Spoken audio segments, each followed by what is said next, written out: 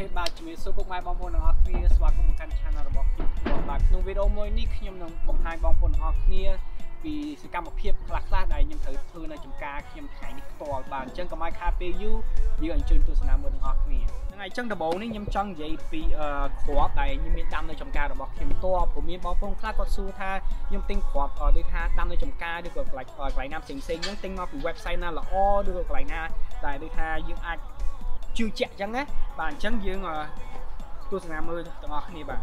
បាទចឹងអានេះដូចខ្ញុំ label ចឹងគឺជា spring and summer ចឹងមានន័យថាអានេះគឺជាគ្រាប់ដែលខ្ញុំអាចដាំនៅខែខែក្តៅបានណាបងប្អូនហើយអាក្រោមនេះខ្ញុំដាក់ fall and winter អានេះគឺជាគ្រាប់ដែលខ្ញុំអាចដាំនៅខែត្រជាក់បាន បាទអញ្ចឹងដូចខ្លះខ្លះខ្ញុំយើងចង់និយាយថា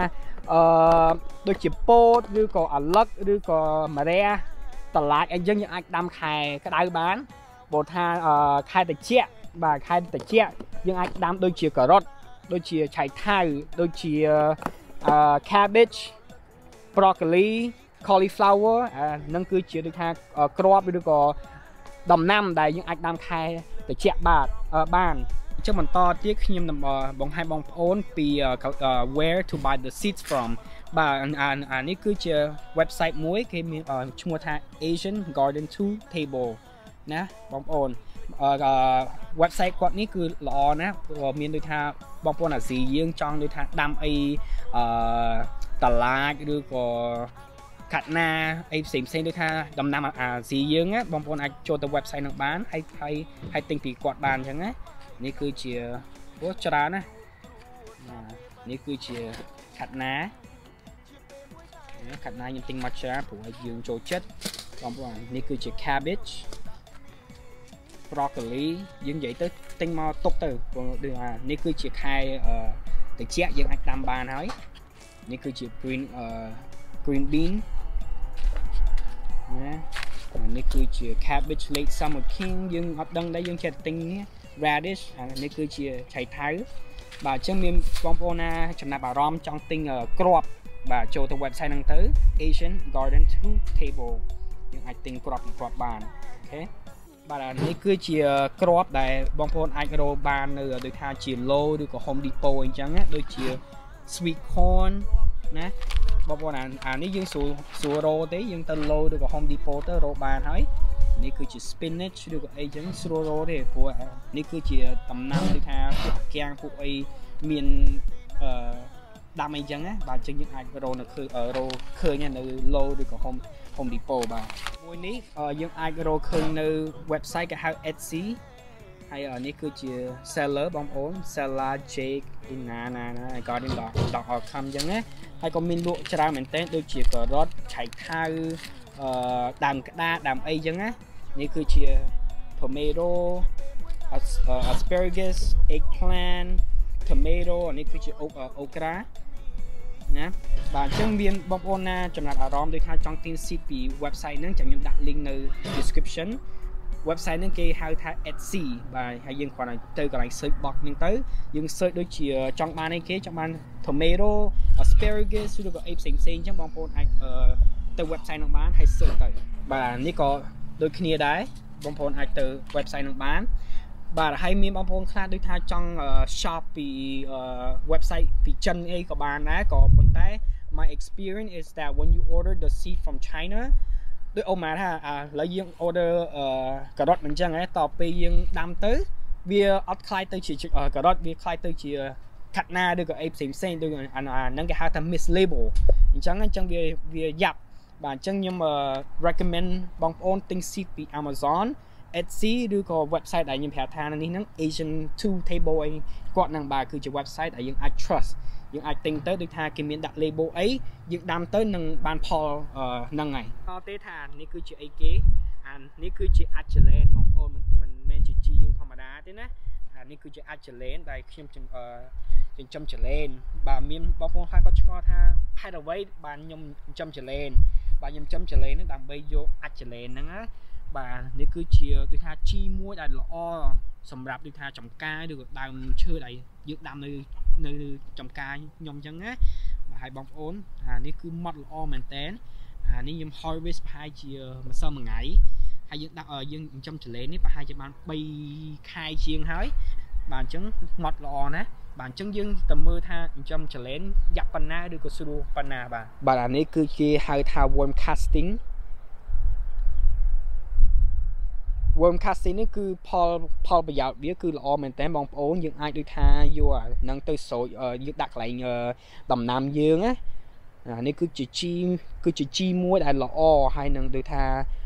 ជួយឲ្យដើមឈើឬក៏ដូចថា vegetable របស់យើងលូតលាស់ល្អឆាប់ធំហើយយើងដូចថាឆាប់នឹងបានហូបបាទអញ្ចឹងមានបងប្អូនណាចង់ដូចថាចិញ្ចឹមចលែនដូចខ្ញុំសាកទៅបាទខ្លះគេដូចថាអឺ nasty ឬក៏ disgusting អីចឹងក៏ប៉ុន្តែសម្រាប់ខ្ញុំផ្ទាល់ខ្ញុំចង់បានគេហៅថា black gold មានន័យថាអានេះគឺជា one of the most nutritious uh, way to uh, to help your plants and your vegetable grow very good បាទបងប្អូនអានេះគឺជាធុងដែលខ្ញុំចំចលែនបាទអញ្ចឹងយើងស្រួលទេដែលគឺថាយើងចង់ចំចលែននោះថាយកអាចចលែននឹងដូចថាយើងទៅបាចជាមួយនឹងដើមដើមឈើឬក៏ អីផ្សេងផ្សេងអញ្ចឹងណាហើយយើងជ្រុលហូរចាំមកដើម្បីលើកថាឲ្យវាមាន air flow បាទហើយយើងដាក់យើងទូមកបាទអានេះគឺជា G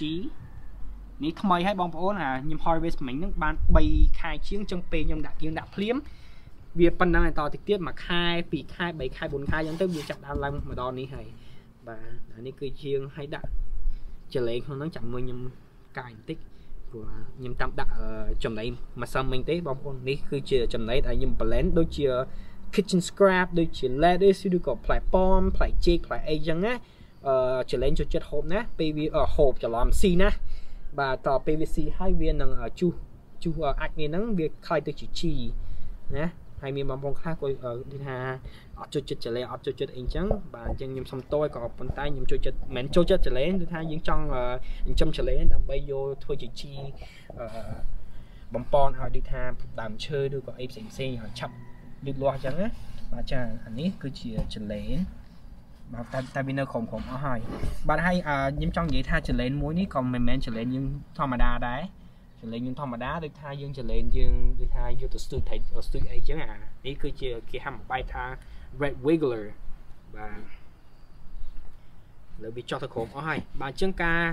ចិញ្ចឹមចលែននេះគឺស្រួលបំផុតបាទក្នុងមួយអាទិត្យខ្ញុំឲ្យចំណីវាម្ដងបាទហើយក្នុងមួយ bin នេះអានេះគឺជាដឹងប្រហែល gallon ហ្នឹងក៏ប៉ុន្តែអឺប្រហែលជា500 gallon 500 gallon អញ្ចឹងទៅដូចថាក្នុងមួយឆ្នាំទៅមួយឆ្នាំវានឹង reproduce បាទអញ្ចឹងយើងដាក់500តមួយឆ្នាំក្រោយវាទៅជា1000ឬក៏ដូចថាវាបង្កើតកូនបង្កើតអីចឹងណាបាទអញ្ចឹងយើងអស់លុយតាមតាមម្ដងទេហើយស្រួលនឹងដូចថាចិញ្ចឹមវាបាទអញ្ចឹងចំចលែនដូចខ្ញុំនិយាយអញ្ចឹងក្នុងមួយអាទិត្យយើងឲ្យចំណីវាម្ដងអញ្ចឹងទៅយើងបិទប្រមូលវាវិញហើយជាការស្រេចបងប្អូនអានេះគឺជាការពោតរបស់ខ្ញុំគឺជាចំការពោតរបស់ខ្ញុំដែលខ្ញុំបដោះពីក្របបាទ ហើយដូចខ្ញុំនិយាយមិញអញ្ចឹងយើងអាចរកក្របនឹងពី Amazon ឬក៏ Home Depot ឬក៏ Lowe's អីបានអញ្ចឹងណាបងប្អូនអានេះខ្ញុំដាំពីអានេះប្រហែលជាបានមួយខែជាង72ខែហើយអញ្ចឹងយើងដូចថាខ្លះវាមានវាមានផ្លាឲ្យបងប្អូនឃើញទេតែនតែនរហូតមែនតែនបាទអញ្ចឹងចាំខ្ញុំ take a close up of the uh, corns okay បាទអញ្ចឹង វិធីដាំពោតនេះគឺមិនមែនដូចថាវាស្រួលប្រមាណទេព្រោះដូចថាមួយពោតវាត្រូវការទឹកច្រើនហើយមួយទៀតក្នុងមួយអាទិត្យទៅមួយអាទិត្យយើងត្រូវមកព្រូនវា បាទអញ្ចឹងខ្ញុំនឹងបង្ហាញបងប្អូន how to prune your uh, corn ដើម្បីឲ្យវាលូតលាស់ឡើងដូចថាខ្ពស់វាមិនមែនដូចថាកតឿព្រោះអាខ្លះពេលខ្ញុំដាំហ្នឹងយើងអត់ដឹងថាយើងដាំរបៀបម៉េចហើយក៏ខ្ញុំសើក្នុង YouTube ចឹងដែរគេប្រាប់បាទអញ្ចឹងក្នុងនេះពោតមួយនេះផ្ទាល់បាទ បងប្អូនឃើញអានេះគឺជាដើមពោតមិនអញ្ចឹងហីអានេះគឺគេហៅថា sucker មានន័យថាវាយើងត្រូវតែកាត់វាចោលដើម្បីឲ្យពោតយើងហ្នឹងវាលូតលាស់ទៅលើខ្ពស់បាទតែយើងអត់កាត់អាហ្នឹងទេវា absorb all the energy from the uh, whole corn here okay so you should cut this out okay so your corn's gonna grow uh, taller instead of uh, you know just shrinking down here because this thing right here is absorbing all the energies that supposed to go to your corn okay បាទអញ្ចឹងអានេះខ្ញុំ prune ប្រហែលជាមួយសិលមួយថ្ងៃហើយបាទអញ្ចឹងយើងដើរមើលទៀតទៅនេះបងប្អូននេះដូចជានេះជាដើមឃើញទេនេះនេះអីយើងព្រូនអាទិត្យមុនឃើញវាឆាប់បោះមែនតើអញ្ចឹងយើងមកទៀតព្រូនវាចោលទៀតទៅញ៉េស្រួលទេប៉ុណ្ណឹងដូចចេះអីនេះយើងកាត់ចោលអញ្ចឹងទៅដើម្បីឲ្យពោតរបស់យើង វាលូតលាស់ទៅខ្ពស់នេះនេះអញ្ចឹងយើងអាចកាត់វាចោលហ៎ព្រោះយើងអត់ត្រូវការវាទេនេះនេះខ្ពស់មែនតើហ៎អញ្ចឹងយើងអត់ត្រូវការទេបងប្អូនកាត់ចោលទៅអញ្ចឹងខ្ញុំនឹងកាត់ដើរកាត់ទាំងអស់អញ្ចឹងអញ្ចឹងទស្សនាមើល time lapse កុំឲ្យយូរពេកបាទបាទអញ្ចឹងយើងនឹងចាប់ដើមមកកាត់ sucker ហ្នឹងដើម្បីគេថាឲ្យ ឲ្យពោតរបស់យើងឆាប់លូតលាស់ទៅខ្ពស់ខ្ពស់ទៀតបាទអញ្ចឹងទស្សនា timeline ទាំងអស់គ្នាកុំឲ្យវាយូរពេកបាទ Thank you.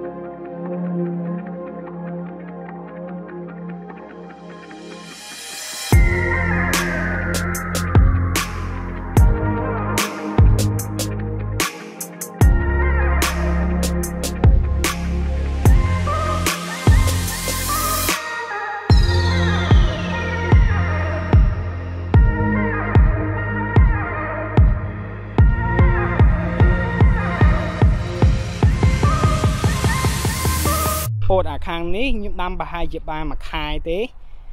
នេះយើងដាំក្រោយអានេះយើងដាំមុនអាខ្លះវាបានអឺកៅផ្កាហើយក៏ប៉ុន្តែយើងត្រូវតែកាត់អាសឹកវាចោលហ្នឹងដើម្បីឲ្យវាលូតលាស់វារៀងខ្ពស់អញ្ចឹងណាព្រោះអាខ្លះវារៀងទៀបហើយវាផ្កាអញ្ចឹងខ្ញុំខ្ញុំអត់តបានទេថាយកអត់ចង់បានផ្កាហ្មងទេចង់ឲ្យវារៀងខ្ពស់តិចទៀតព្រោះតែផ្កាហើយវាចាប់ដើមពោតទេមិនអញ្ចឹង បាទអញ្ចឹងយើងនឹងបន្តកាត់ sucker ទាំងអស់គ្នាបាទន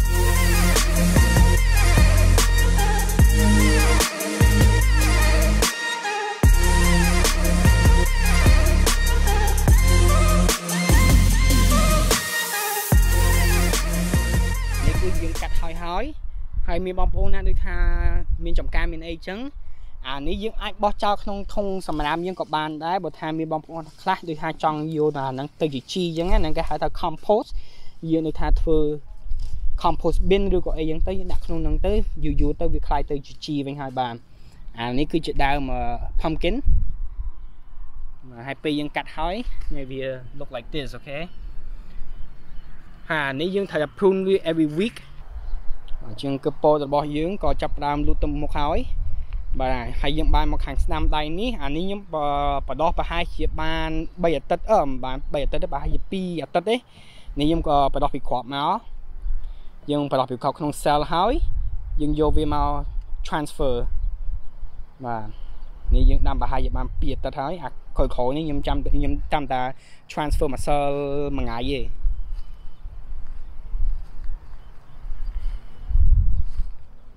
បាទកន្លែងនេះតពេលខែត្រជាក់អីទៅយើងអាចដាំអីផ្សេងផ្សេងបានដូចជា salad cauliflower broccoli radish ឬក៏អីផ្សេងផ្សេងអញ្ចឹងណាតែសំខាន់ជាងគេខែត្រជាក់ខ្ញុំត្រូវតែកាយកាយជីនឹងចេញហើយយើងដាក់សណាំងពីក្រោមព្រោះខ្លាច់អាសាត់នឹងវាមកស៊ីឬមកស៊ីអីចឹងណាបាទតែពោតមើលទៅដូចវាមិនសូវអី finger finger crossed that it's not gonna affect our uh corn but so far so good haven't seen any of the animal eating our corn but they have been eating our sunflower which I'll show you in know, in a future video of uh, what's growing in my farm during the, the hot season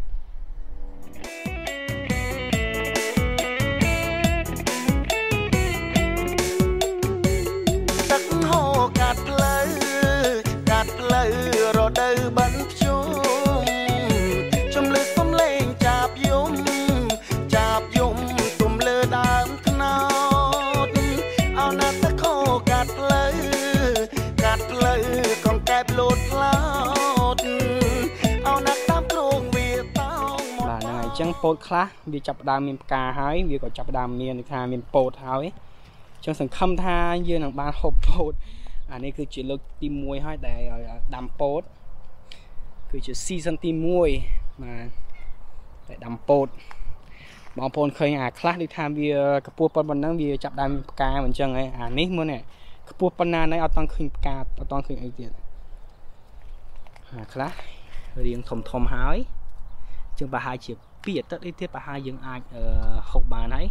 នេះក៏អត់ដឹងថាសាច់ក្នុងនឹងវាណែនឬក៏អត់អត់អីប៉ុណ្ណាទេខ្ញុំមិនទាន់ដឹងទេណាតែសង្ឃឹមថាវាល្អចុះព្រោះខ្លះគេត្រូវការ pollinate ដូចថាបងប្អូនឃើញអាផ្កានេះយើងយើងត្រូវតែគោះវាដើម្បីឲ្យ pollen ហ្នឹងវាចូលទៅកន្លែងកន្លែងនេះមកដើម្បីឲ្យវា pollinate ដើម្បីឲ្យក្នុងអាពោតយើងហ្នឹងវាល្អវាណែនចេះហ៎ ម្សិលមួយថ្ងៃខ្ញុំមក check អាមួយនេះដែរបងប្អូននេះអាមួយនេះដឹងថាណែនណែនល្អហ្មងនេះអាមួយនេះឃើញទេណែនវាល្អនឹងមកខ្ញុំហែកទៅនេះវាក្រំបើហើយយើងសង្ឃឹមថាបានហូបខ្លះចុះក្រោមក្រោមនេះដូចខ្ញុំនិយាយយ៉ាងពោតគឺជាដើមមួយដែលដូចថាត្រូវការទឹកច្រើនអញ្ចឹងក្នុងមួយថ្ងៃខ្ញុំត្រូវស្រោចទឹកវាម្ដងហើយខ្ញុំដាំដើម pumpkin ដើម្បីដូចថា ឲ្យវា shake កន្លែងហ្នឹងដើម្បីដូចថាវា moisture វានេះពេកអញ្ចឹងណាកុំឲ្យវា dry ពេកអញ្ចឹងមួយជួរនេះគឺខ្ញុំដាំពោតទាំងអស់ដាំបាន3ជួរចាំមើលទីទៀតបើថាដាំបានល្អខ្ញុំនឹងថែមមួយជួរទៀតបាទអញ្ចឹងយើងបន្តមកទៀតយើងមកក្រោយចុកការហើយនេះបងប្អូននេះគឺជាត្រង់មន់របស់ខ្ញុំផ្ទាល់បាទគឺខ្ញុំហើយនឹងប្អូនខ្ញុំអ្នក build ខ្លួនឯងបាទគឺ ទំហំវានេះគឺ I think it's 10 by 40បាទអញ្ចឹងអាខាងនេះទៅគឺ10ហើយយើងទៅដល់ក្រោយគឺ40 feet បាទខ្ញុំនេះគេហៅថា go big or go go big or go home បាទមុនដំបូងដូចថាយើងចង់ចិញ្ចឹមតែ5 6មាន់ទេដើម្បីដូចថាយកពងវិញអញ្ចឹងណាក៏ប៉ុន្តែ5ខ្លាយទៅជា10 10ខ្លាយទៅជា20ឥឡូវនេះប្រហែលជា29មាន់ហើយបាទបាទអញ្ចឹងអឺយើងទៅមើល ថាមាន់ខ្ញុំមានអីគេខ្លះទាំងអស់គ្នាបាទអញ្ចឹងយើងដើរចូលមកភ្លាមឥឡូវនេះវាចាប់ដើមនៅថារោកន្លែងវាដេកហើយហើយបងប្អូនអាមុខពីរហ្នឹងគឺជាមាន់គោកគឺជាឈ្មោះមាន់ឈ្មោះបងប្អូនមាន់ឈ្មោះនេះគឺមានមាន neighbor ឬក៏ដូចថាខ្ញុំខ្ញុំ search ក្នុង Craigslist មានអឺដឹងមិនអីគាត់ឲ្យខ្ញុំ free បានពីរហ្នឹង free បងប្អូនអាហ្នឹងមួយអានេះមួយ ហើយអានៅលើ Bruce ហ្នឹងគឺជាមន់ neighbor ដែលគាត់ឲ្យខ្ញុំហើយអានេះគឺជាកូនកូនទេម៉ែប្រហែលជានៅក្នុងកន្លែងដេកបាទអាអានេះគឺជាកូនកូនអូញ៉ៃញ៉ៃណាស់អូពងតែជន់ហើយបងប្អូនមានដែរឃើញមន់នេះគ្នាអត់បាទអានេះគឺជាកូនហើយនឹងអាកោក2ដែលខ្ញុំបាន free ហើយបងប្អូនអានេះមានបងប្អូនខ្លះគាត់ឆ្ងល់ថា why did I divide all three uh, section បាទព្រោះអីមុនមុនដំបូងខ្ញុំដូចថាចិញ្ចឹមតែប៉ុណ្្នេះទេក៏ប៉ុន្តែដូចខ្ញុំនិយាយអញ្ចឹងប្រាប់មន់5ខ្លាយទៅជា10ខ្លាយទៅជា20អញ្ចឹងទៅក៏ខ្ញុំត្រូវបរិកន្លែងធំមន់ហ្នឹងឲ្យទៅជាវែងតិចបាទអញ្ចឹងកន្លែងមួយមួយនោះគឺជាកន្លែងដែលថាមន់នៅទូទូចព្រោះយើងមន់ដាក់ជាមួយអាកុកនេះវានឹងចឹកវានឹងចឹកឲ្យស្លាប់ហើយមិនអញ្ចឹងបាទអញ្ចឹងយើងនឹងក្នុងមួយថ្ងៃទៅមួយថ្ងៃ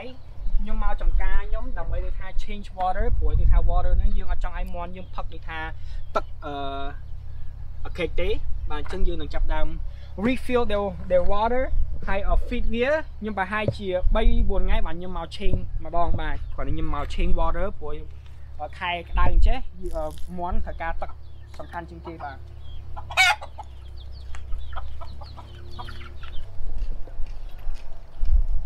ទឹក ហ្នឹងយើងមក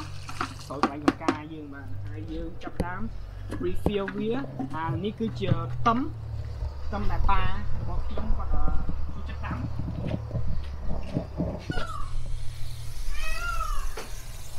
បងប្អូនឃើញវាអាចចឹងទៅលីងវាធម្មតាបាទមិននិយាយថាស្អាតពេកទេព្រោះក្នុងមួយថ្ងៃទៅមួយថ្ងៃខ្ញុំត្រូវតែមក change water វា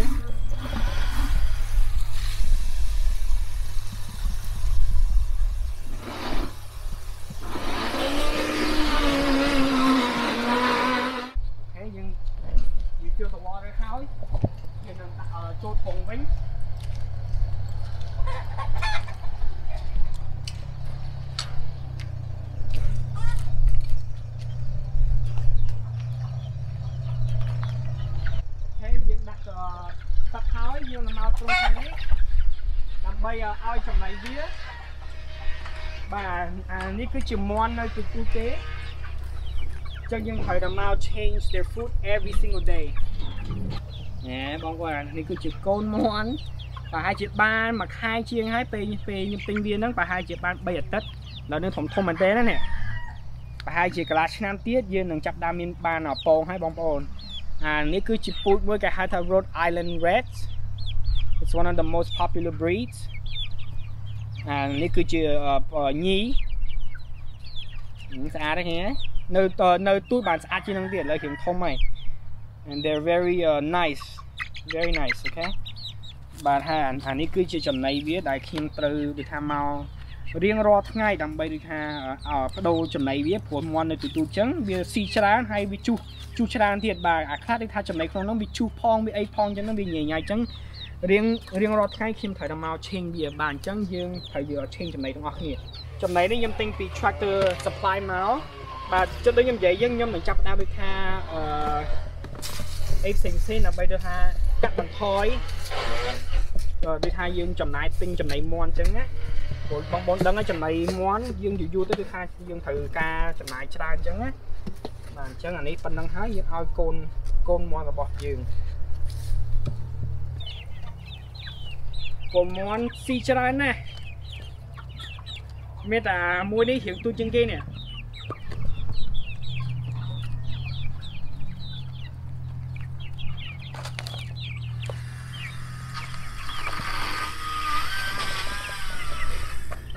អស់ឡើយនៃកូនមន់នេះយមើលអស់ម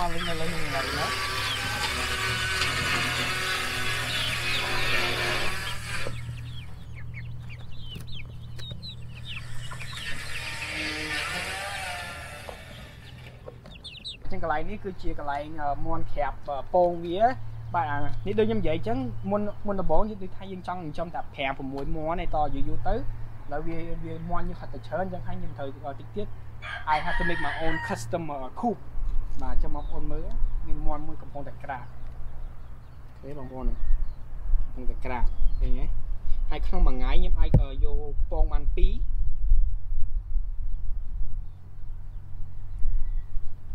ព្រោះឥឡូវនេះមានតែពងមានតែមន់2ទេដែលកំពុងតែក្រាបពងអញ្ចឹងណាអានេះមួយអានេះគឺជាមេ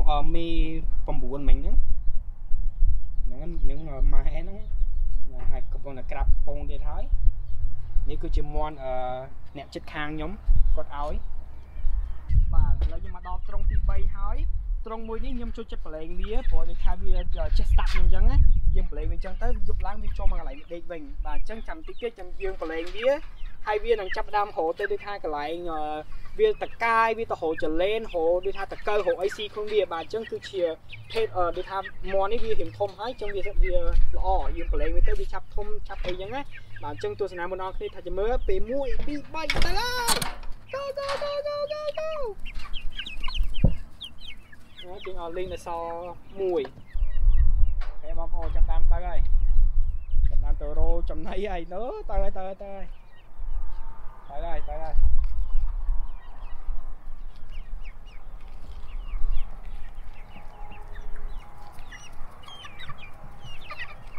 នេះបងប្អូននេះគឺជាមន់ប្រហែលជាបានមើល2ខែហើយ2ខែ ខែនេះយើងបរិយវិញចឹងទៅតម៉ោង8កន្លះជាងពេលយប់ឡើងវានឹងចាប់ដើមវាថាចូលត្រង់វាវិញហើយម៉ោង8ជាងយើងបើកត្រង់វាទៅវាវាទៅកន្លែងដេកវាវិញហើយបាទអញ្ចឹងស្រួលទេដូចថាមុនមុនដំបូងខ្ញុំថាចិញ្ចឹមមន់នេះវាគ្រៀងយ៉ាប់វាយ៉ាប់តែពេលដូចថាវាទូចហើយនឹងពេលវារៀងធំបន្តិចតែប៉ុនប៉ុណ្ណេះទៅវារៀងស្រួលព្រោះដូចថាមន់តែយើងប្រឡែងវាយូរយូរទៅវាដឹងកន្លែងវាដឹងអីចឹងស្រួលទេបាទហើយសំខាន់ជាងគេចំការរបស់ខ្ញុំគឺវាធំផងអញ្ចឹង ស្រួលដែរប្រឡែងវាអញ្ចឹងទៅវាតកាយវាវាទៅអីខ្លួនវាអញ្ចឹងទៅណាអញ្ចឹងធុងមន់ខ្ញុំគឺល្អណាស់មិនមែនល្អដូចថាវែងល្អមែនតើដូចខ្ញុំនិយាយគឺ10គុណនឹង40ហើយតិចតិចខ្ញុំនឹងដូចថាឥឡូវនេះយើង divide by 3 section different section but soon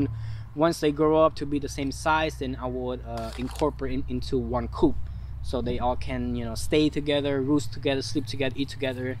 do their chicken stuff នេះគឺជាពូជមួយចូលចិត្តណាចូលចិត្តកាចូលចិត្តអីសំខាន់ជាងគេវាចូលចិត្តទៅកន្លែងនោះកន្លែងយើងដាំអីដាំអីចឹងវាជួយចិត្តតកាយទៅអីចឹងណា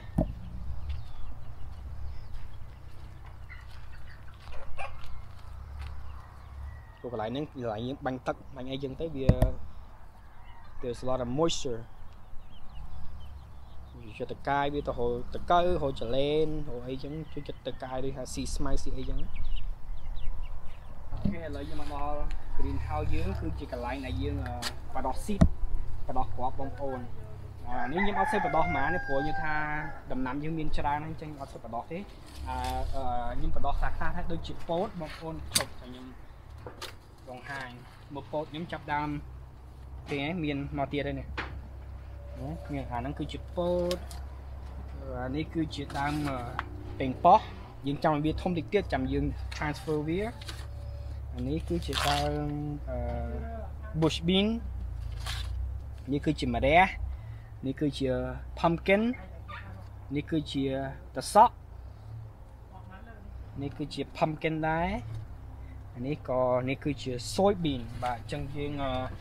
រៀងរាល់ថ្ងៃខ្ញុំត្រូវតែមកស្រូបវាម្ដងក្នុងមួយថ្ងៃម្ដងឬក៏មួយថ្ងៃពីរដងអញ្ចឹងដើម្បីដូចថាវានេះអញ្ចឹងណា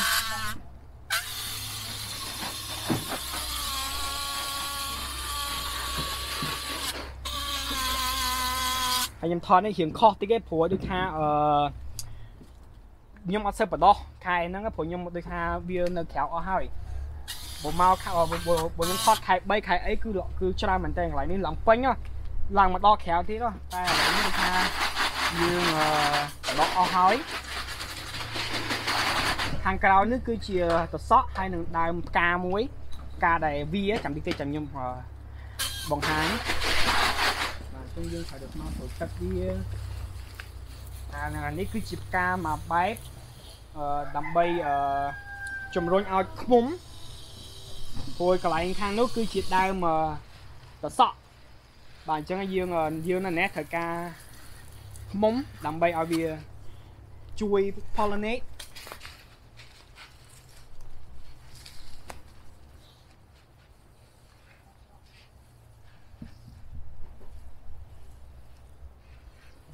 បាទអញ្ចឹងធ្វើមួយថ្ងៃទៅមួយថ្ងៃខ្ញុំមានកិច្ចការច្រើនណាស់ដូចថាមកតម្ការមកដូចថាមកព្រូនឬក៏មកមើល Q មកមើលតសក់ មកមើលអីផ្សេងផ្សេងអញ្ចឹងឲ្យដើម្បីឲ្យដូចថាវាលូតលាស់ល្អហើយយើងត្រូវការថែមជីត្រូវការថែមអីផ្សេងផ្សេងទៀតអញ្ចឹងបងប្អូនអាខ្លះឃើញអានេះរៀងលឿងលឿងអញ្ចឹងយើងត្រូវតែបាញ់ថ្នាំវាឲ្យបងប្អូនមើលតសក់ខ្ញុំណាបងប្អូនមើលណាឃើញទេឆ្នាំទី1ណានេះបងប្អូនមើលនេះមិនមែនធំគឺធំមែនតើឃើញទេនេះគឺគេហៅថា Boston pickling នេះគឺគេហៅអឺទៅសក់ដែលខ្មែរយើងចូលចិត្តដូចថាយកទៅហូបចឹងបានបាទខ្ញុំដាំអាហ្នឹងអញ្ចឹងក្នុងមួយក្នុងមួយ tray នេះក្នុងមួយគេហៅគេ raised bed អឺយើងដាំបាន6ដើមហើយវាវាឡើងទៅលើខាងនេះខាងនោះបានវារៀងរៀងខ្លាំងក៏ប៉ុន្តែឥឡូវនេះវារៀងក្តៅខ្លាំងណាចឹងអាខ្លះដូចថាវាអាលួយខ្លះអីខ្លះបាទបងប្អូនឃើញទេណាទៅសក់ខ្ញុំណាមិនលំលំទេណាវ៉ាយអូខេ បាទពេលច្រើនខ្ញុំតែម៉ោងដូចថាម៉ោង5 6 7អីខ្ញុំត្រូវតែមកដូចថាស្រូចដើមឈើស្រូចផ្កាស្រូចអីចឹងហើយខ្ញុំច្រើនតែប្រឡែងមន់ខ្ញុំដូចបងប្អូនមើលមិនចឹងប្រឡែងមន់ហើយដូចថាឲ្យវាដើរស៊ីដើរអីចឹងទៅម៉ោង8ជាងវានឹងចូលត្រង់វាវិញហ្នឹងបងប្អូនដូចដូចយើងនិយាយយើងដូចថាយើងចាប់ដើមបរិញ្ញាវាពីទូចឹងទៅទៅវាតទៅពេលវាធំឡើងវាដឹងកន្លែងវាដូចថាម៉ោងប្រហែលត្រូវចូលផ្ទះវាវិញត្រូវអីចឹងណាបាទហើយខាងនេះក៏ដើមទៅសក់ដែរ ខាងនេះ5ខាងនេះ6ខាងនេះ5ខាងនេះ5បាទមិញមិញខ្ញុំនិយាយ6ប្រហែលជាខុសហើយនេះគឺ5បងប្អូនឃើញទេអាខ្លះដូចថាវាលូតលាស់ល្អហើយនេះក៏មិនផ្លែប៉ុណ្ណឹងទេនេះខ្ញុំបេះច្រើនហើយខ្ញុំបេះច្រើនមែនតើហើយបាទអញ្ចឹងក៏បញ្ចប់វីដេអូប៉ុណ្ណឹងចោះកុំឲ្យដូចថាវារៀងវែងពេក បាទនេះដូចខ្ញុំនិយាយគឺជាសកម្មភាពដែលខ្ញុំដូចថានៅថ្ងៃនេះផ្ទាល់ធ្វើឲ្យនៅចំការអញ្ចឹងហើយក៏មានអីច្រើនទៀតដែរដែលខ្ញុំអត់បានថតព្រោះដូចថាមុនដំបូងថាថតធួក៏ប៉ុន្តែធ្វើជាដូចថាធ្វើការនៅចំការវិញបាទអញ្ចឹងខ្ញុំសង្ឃឹមថាបងប្អូនចូលចិត្តវីដេអូមួយនេះហើយបើចូលចិត្តកុំភ្លេច like comment subscribe for more future videos ហើយនរបងប្អូនមើលវីដេអូមួយនេះប្រហែលជាខ្ញុំបានហូបពោតខ្លះហើយបាទអញ្ចឹង and see you on the next video. Thank you bye bye